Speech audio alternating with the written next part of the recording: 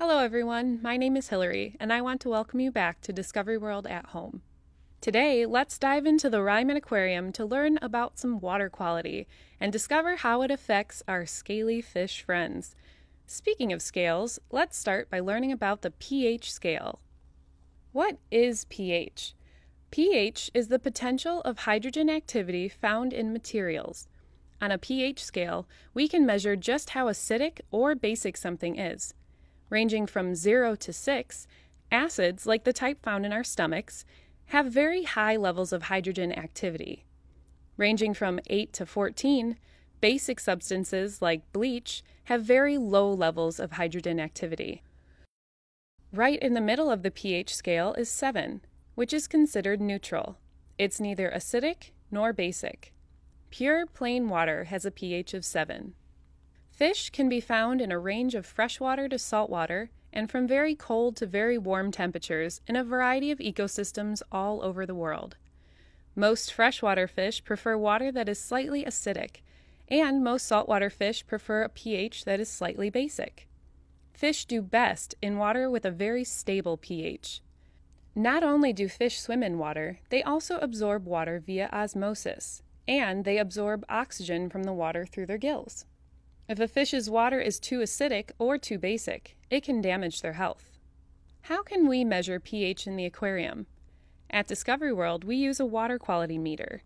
Before we use it, we need to make sure that the probes are clean and the meter is working properly.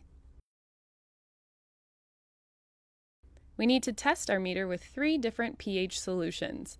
They come in fun colors too.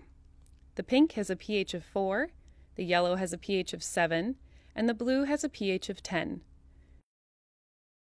The particular meter we have is the YSI Pro 1020. It is a fully portable and waterproof meter that helps us measure not only pH, but also temperature, atmospheric pressure, and dissolved oxygen levels in the water. Let's use our water quality meter to check on our touch tanks. We also need our refractometer, a special tool we dip in the water to detect how salty it is.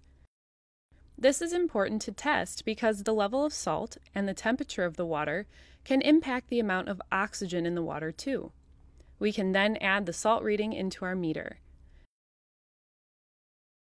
Our saltwater stingray touch tank is usually at a level of 32 parts per thousand. That just means for every 1,000 cups of water, there are 32 cups of salts. These stingrays prefer water that has a pH between 7.9 to 8.3 and a temperature of about 80 degrees Fahrenheit.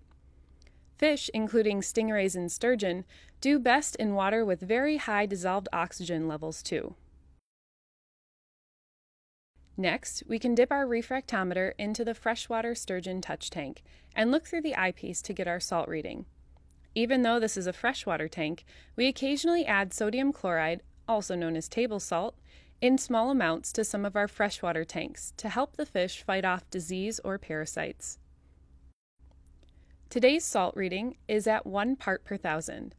These hand raised lake sturgeon that originated from Riveredge Nature Center prefer water that has a pH between 7.0 and 8.0 and a temperature of about 63 degrees Fahrenheit. If necessary, we can artificially raise or lower the pH by adding chemicals. If our pH is too low, we can add this alkaline buffer to help raise the pH, making the water more basic. If our pH is too high, we can add an acid buffer to help lower the pH, making the water more acidic.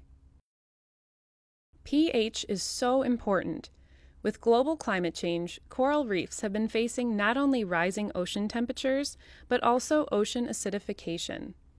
Large amounts of air pollution and carbon dioxide is absorbed into the ocean every day. Higher levels of carbon dioxide lowers ocean pH, making the water more acidic. Coral reefs are made up of millions of tiny coral polyps.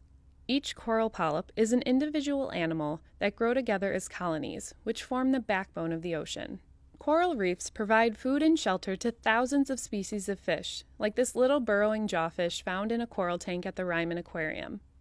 When ocean temperatures rise and pH drops, this creates too much stress for the corals, which don't have the ability to relocate. This causes the corals to bleach and appear white as they release their colorful microscopic algae known as zooxanthellae. Zooxanthellae lives inside corals and helps provide them with essential nutrients. Without that algae, the corals can die, which then makes the reef less inhabitable by other aquatic life like this little jawfish. We can all do our part to help slow down ocean acidification by being stewards to the earth. We can make the choice to help reduce our carbon footprint by doing something simple, like turning off lights when we aren't using them.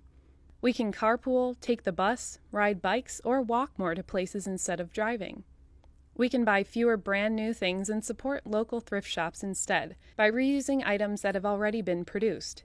Small positive changes can help improve conditions for all aquatic life, like those found here at Discovery World.